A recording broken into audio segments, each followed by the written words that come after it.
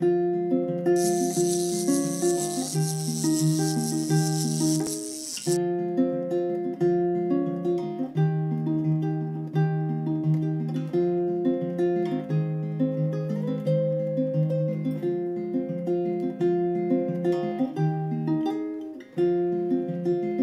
plopped it down on the podium and it squished and it was wet and it I can still hear the noise of of that very vulnerable organ um, being set down onto the podium and I was just hooked. And I just knew um, the first time I worked with a client that I was interested in um, pursuing this, this path. My current interests and focus are on stroke rehabilitation. So um, individuals who have survived a stroke often have difficulty with speaking, listening to spoken language, reading, and writing, and that's a disorder called aphasia. When a stroke occurs, um, it, a stroke can occur anywhere in the brain. Um, the stroke survivors that I work with have all had their stroke in their left hemisphere. So language, the language centers reside in the primarily in the left hemisphere of the brain. So you see the center of the brain, the, the middle. Um, what we're interested in studying is the left hemisphere of the brain um, where we have our speech centers. Speech and language comes so naturally to us. We don't even think about what we're doing when we're talking. Um, and now every moment they're thinking about how to produce language, how to produce those ideas that they have in their heads that are still there. Um, all their thoughts, their, their self is still inside, um, but they're struggling to communicate that. Okay. You ready? Yep. A participant in this research will try to name a picture, and then that picture goes away. And we all have those moments, the kind of tip of the tongue moments where we can't think of the word that we're trying to retrieve.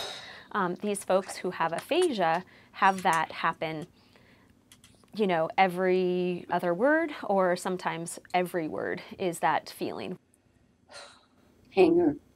At no point am I bored with my profession. At no point um, am I do I regret the decision that I took to, to be in this field because my connections are amazing and to see their successes. Something as small as putting two words together is a huge success.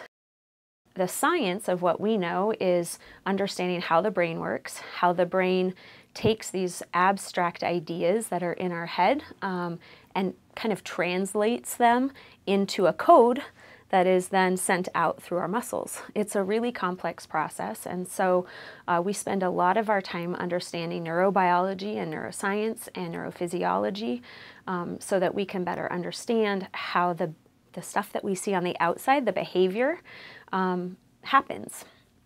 So instead of counting things like molecules and atoms like some other scientists do, we count human behaviors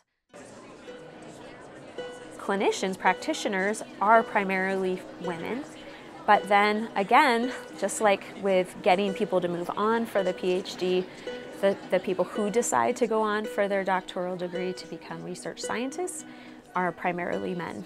And so we have this huge gap again um, in trying to translate um, the clinical practitioner to a research scientist, and even more so for those um, that are female.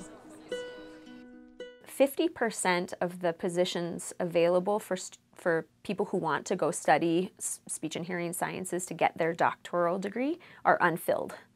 So how do we get people to, to go on to, to want to do this, to do more of the science, to do more of the research?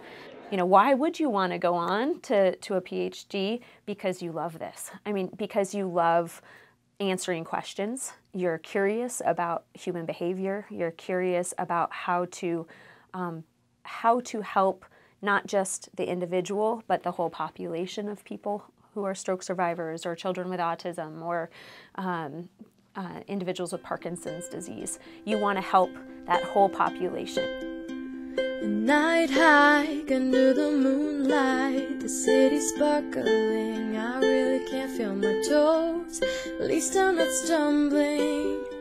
Okay, well, not as much as you. Did you know that if you clap your hands, but might come back. Oh,